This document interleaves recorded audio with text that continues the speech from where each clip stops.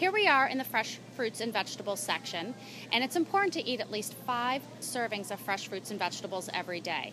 But what counts as a serving? So here we are in an area of vegetables, and it's really important to try eating a variety of vegetables every day. So, for instance, choosing more of the dark green leafy vegetables compared to something like using an iceberg lettuce. It's important to eat at least five servings of fresh fruits and vegetables every day. But what counts as a serving? A good way of looking at what a serving is is by looking at everyday things you have in the house. For example, a tennis ball is about equivalent to the size of a serving for fruit.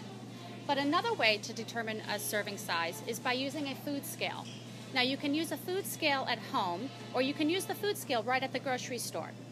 What is important, though, is to remember when you look at the food scale, the food scale, the grocery store, one pound is equivalent to 16 ounces. Now, how do you determine the number of grams of carbohydrate based on the serving?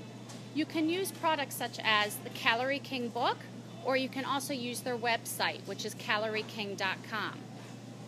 So let's first look at the serving size and how to weigh and measure to determine the grams of carbohydrate in the fruit. First, we have this apple.